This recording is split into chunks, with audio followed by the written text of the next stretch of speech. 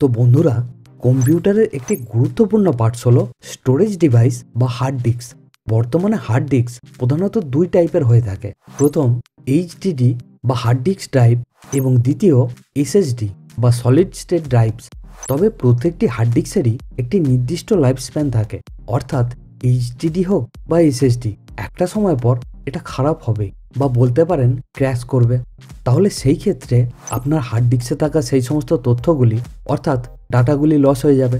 But আপনার computer বা ল্যাপটপের হার্ড ডিস্কটি নষ্ট হওয়ার আগেই যদি আপনি জানতে পারেন যে আপনার হার্ড ডিস্কটি কতটুকু ভালো আছে এবং হার্ড ডিস্কটি আর কতদিন চলবে, তাহলে সেই ক্ষেত্রে সেই হার্ড ডিস্কের প্রয়োজনীয় ডাটা বা তথ্যগুলিকে আগের থেকেই ব্যাকআপ নিয়ে নিতে পারবেন। তাহলে বন্ধু আপনার অনেক কিছু লস হয়ে যাওয়ার আগে এই ভিডিওকে দেখে নিন এবং পুরো বিষয়টাকে বুঝে নিন। তবে আপনাকে একটা রিকোয়েস্ট করব ভিডিওকে অবশ্যই একটা লাইক করে দেবেন। এতে আমরা আরও ভিডিও তৈরি করার জন্য মোটিভেশন পাই। সাবস্ক্রাইব করুন কলকাতা কম্পিউটার চ্যানেলকে আর বেল আইকনকে প্রেস করুন লেটেস্ট আপডেট পাওয়ার জন্য। ফ্রেন্ড এই ভিডিওতে আমরা এইচডিডি হার্ড ডিস্ক নিয়ে আলোচনা করব। বাট এইচডিডি এবং এসএসডি দুই ক্ষেত্রেই প্রসেস একই রকম হবে। তাহলে আমার এই কম্পিউটারের এইচডিডি হার্ড ডিস্ককে চেক করে দেখব এটা কতটা ভালো আছে এবং এটা কতদিন চলতে পারে। তবে হ্যাঁ এখানে একটা কথা অবশ্যই আপনাকে জানানো প্রয়োজন। এসএসডি হার্ড ডিস্কের ক্ষেত্রে এর স্টোরেজ চিপের মধ্যে যে মেমোরি সেলগুলি থাকে, সেগুলি একটি নির্দিষ্ট সময় পর্যন্ত সার্ভাইভ করে। তাই এসএসডি হার্ড ডিস্কের ক্ষেত্রে এই লাইফ স্প্যানকে অনেকটাই অ্যাপ্রোপ্রিয়েটভাবে জানা যায়। কিন্তু এইচডিডি হার্ড ডিস্কের ক্ষেত্রে এরকম কোনো সেল থাকে না। তাই এর লাইফ স্প্যানকে অতটা অ্যাপ্রোপ্রিয়েটভাবে বোঝা যায় না। অর্থাৎ বেশিরভাগ ক্ষেত্রে এইচডিডি হার্ড ডিস্কের নির্দিষ্ট লাইফ স্প্যানের পরও বেশ কিছুদিন টিকে যায়। তবে সেটা আপনার ক্ষেত্রে কিন্তু রিস্কি হবে। তাই আপনার জন্য সময় থাকতেই ব্যাকআপ নিয়ে নেওয়াটা বেটার হবে। অ্যাকচুয়ালি ফ্রেন্ড এইচডিডি হার্ড ডিস্কের ক্ষেত্রে এর মধ্যে একটি ডিস্ক থাকে, যাকে আমরা প্ল্যাটার্স বলে জানি এবং এটি সবসময়ই ঘুরতে থাকে। এবং এই ডিস্কের ওপর একটি লেন্স লাগানো থাকে, যার মাধ্যমে ডাটাকে রিড এবং রাইট করতে পারে। যার কারণে এইচডিডি হার্ড ডিস্কের লাইফ স্প্যামের অ্যাকচুয়াল ধারণা পাওয়া যায়।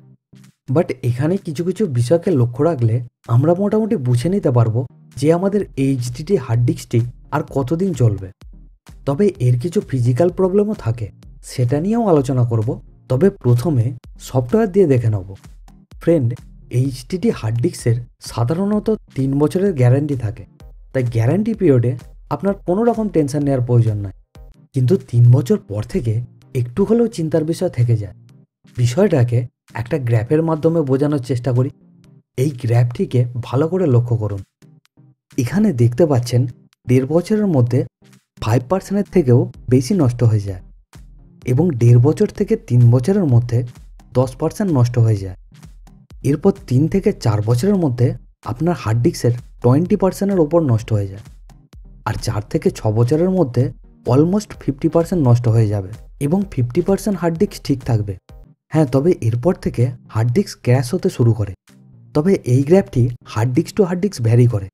অর্থাৎ এটা বলতে চাইছি যে এটা ঠিক নয় যে আপনার হার্ড ডিস্ক পাঁচ বছর বা ছ বছর পরই নষ্ট হয়ে যাবে।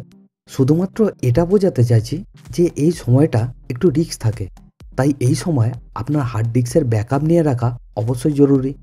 ফ্রেন্ড আপনার কাছে যদি কোনো পুরাতন কম্পিউটার অথবা হার্ড ডিস্ক থাকে, তাহলে লক্ষ্য করে থাকবেন, এই হার্ড ডিস্কের মধ্যে কিছু ফাইল ওপেন হতে চায় না। অর্থাৎ কোনো picture file movie file etcetera এই ফাইলগুলি যখন লোড করা হয়েছিল, তখন কিন্তু ঠিকই ছিল। বাট যত সময় পার হয়েছে, ততই এই কম্পিউটারের হার্ড ডিস্কের অনেক সেক্টর নষ্ট হয়েছে, যার ফলে এই ফাইলগুলি করাপ্ট হয়ে গেছে। তাহলে এবার সফটওয়্যার দিয়ে চেক করে দেখে নেওয়া যাক। তো সফটওয়্যার দিয়ে চেক করার জন্য প্রথমে সফটওয়্যারটিকে ডাউনলোড করে নিচ্ছি। তার জন্য অবশ্যই আমাদেরকে যেতে হবে গুগলসে এখানে যে টাইপ করতে হবে হার্ড ডিস্ক সেন্টিনেল এরপর নিচের এই ওয়েবসাইট লিঙ্কটিতে ক্লিক করুন। এটা সফটওয়্যারটির ডাউনলোড এবং পারচেস সাইট তাহলে এখানে ডাউনলোড বাটনে ক্লিক করুন এবং এখানে আপনি বিভিন্ন অপশন পেয়ে যাবেন। আপনি যদি সফটওয়্যারটি কিনতে চান, তার জন্য এক্সট্রা লিঙ্ক দেওয়া আছে। বাট আমি ফ্রি ভার্সান বা ট্রায়াল ভার্সানকে ডাউনলোড করব। তার জন্য এই অপশানটিতে ক্লিক করব।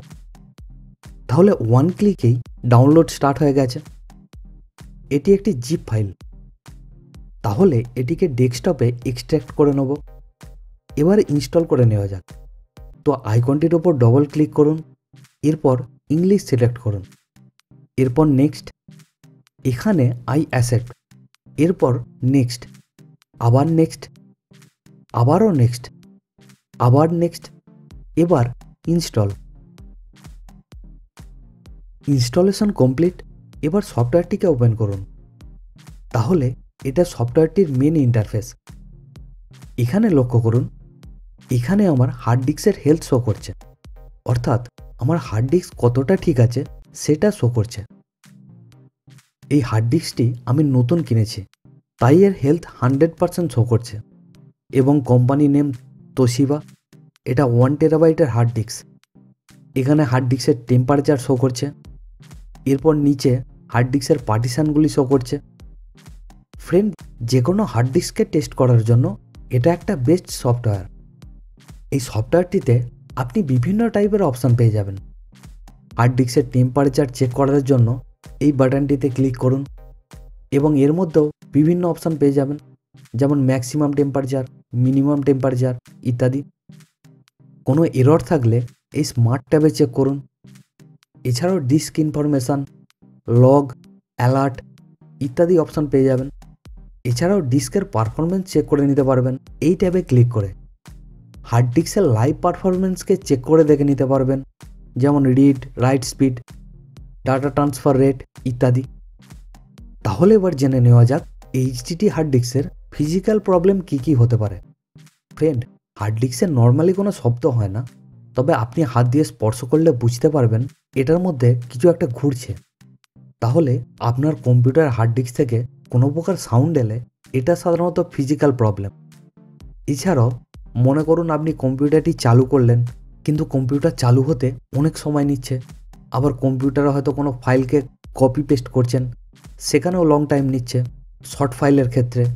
এগুলি হলো ফিজিক্যাল প্রবলেম তাহলে বন্ধুরা হার্ড ডিস্কের হেলথ কীভাবে চেক করবেন, সেই তথ্য নিয়ে আমাদের এই ভিডিও আপনার কেমন লেগেছে, সেটা অবশ্যই কমেন্ট বক্সে জানাবেন। আর এই রকমই আরও গুরুত্বপূর্ণ ভিডিও পেতে নিচে রেড কালারের সাবস্ক্রাইব বাটনকে প্রেস করে নোটিফিকেশান বেলকে অল মোডে সিলেক্ট করে দিন। আর লাইক বাটনকে অবশ্যই একবার প্রেস করে দেবেন। And Thanks for watching.